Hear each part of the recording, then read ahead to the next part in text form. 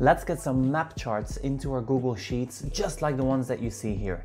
Now, if you want to follow along, in the description below, there will be a link that will give you access to a source file with two sheets in there. As you can see here, we have our first sheet. This will show you exactly what this will look like when we finish. And then our second sheet, this is where you can follow along. So go ahead and make a copy of that file. Now Google Sheets lets us add many different types of charts and one such type is the map chart. So here, let's go ahead and select our data. Here I've got countries and the population of that country in the year 2020. Now once I've selected my data, all I have to do is go to the top where it says Insert and then select my chart. Now it will automatically default to this pie chart. Now obviously we do not want to use a pie chart for this, so let's go ahead and change the chart type on the right hand side. Here I'm going to select all the way at the bottom the map chart type. Now there are two different types. The first is a geochart and the next one is a geochart with markers. So let's go ahead and select the first one.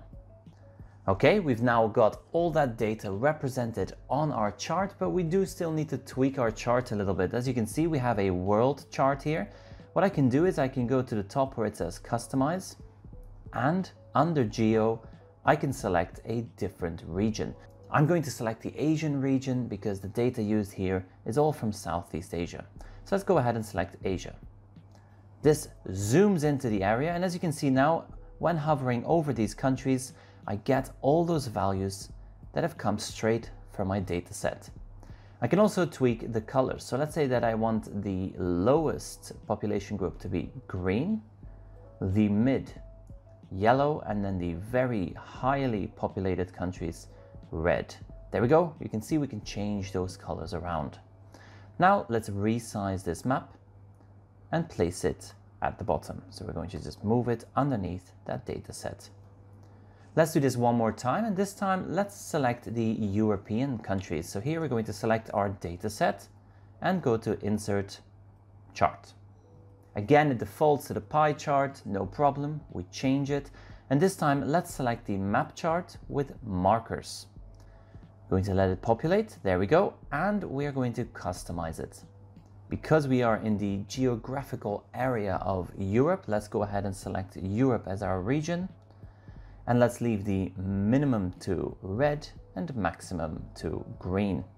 We can move this chart to the side now. So let's just move that chart next to our data set. Now there's a couple of other things we can do now that we've created these charts. First of all, we can export these charts. So when I click on this chart, I will get the option here at the top and I click on those three dots to download this chart. I can download it as a PNG image and this image can then be used in other programs. So here you can see I have that PNG image of my chart. Another thing I can do is I can click on those three dots and I can ask to publish the chart.